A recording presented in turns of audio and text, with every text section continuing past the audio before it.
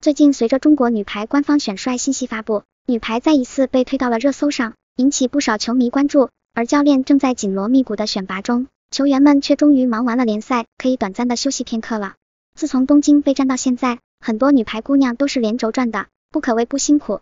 这不，比赛一结束，大家就纷纷开始度假模式。郑一欣小姐姐穿着黄色连衣裙和朋友聚餐，刘晏含则是一身红色包臀裙开始拍广告。至于我们今天要说的主角龚翔宇，也和朋友们相约下午茶，而且穿衣风格也大变样，让网友们惊呼认不出。一起来看看吧。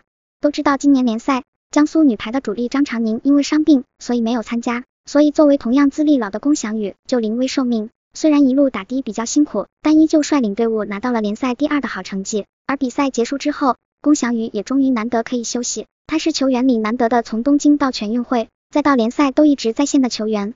现在终于有假期了，和朋友圈一起逛街。照片里的龚翔宇一身小香风，陪着大长靴和蓝色牛仔裤，正在优雅的喝着咖啡，看起来十分有气质。